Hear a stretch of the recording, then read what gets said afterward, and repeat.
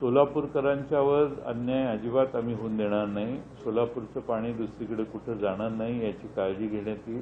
कोणत्याही परिस्थितीत सोलापूरकरांनी निर्धास्त राहावं आणि दुसऱ्या कोणत्याही तालुक्याला अतिरिक्त पाणी सोलापूरकरांच्या वाट्याला जे आहे ते सोडून दुसऱ्या कोणाला पाणी देण्याचा प्रश्नच उद्भवत नाही.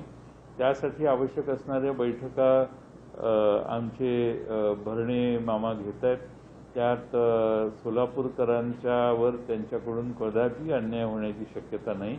फक्त त्या भागात इंदापूरच्या भागातल्या लोकांचं काय म्हणणं आहे? याच्याविषयी काही लोकांची भावना मतं काही वेगळ्या प्रकारची होती. त्यामुळे त्यांचं म्हणणं ते ऐकायचा एक त्यांचा प्रयत्न होता.